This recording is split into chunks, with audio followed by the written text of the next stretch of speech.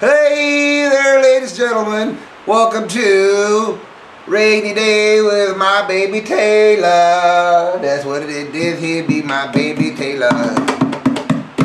My baby Taylor sounds so pretty. Small little instrument, yes it is, but just about fine because I with my fingers in can, can cover more. Because I got little fingers, I don't have those huge fingers like some folk. I know, but with my fingers, I can cover quite a bit of territory on this puppy. So let me show you how it's done. So sit it right there. Don't move. Chill out. Relax. Chillax. Whatever you want to call it. Probably get myself some of that there up-to-date vocabulary on, on, on y'all. So that way I could be playing on y'all instead of like playing for you. Because last you got playing for you. Now I be playing on you. So sit right there while y'all let me play on you. Alright? See, that's a new word. Alright? So, there you go. Vocabulary and music in one morning. Thank you much.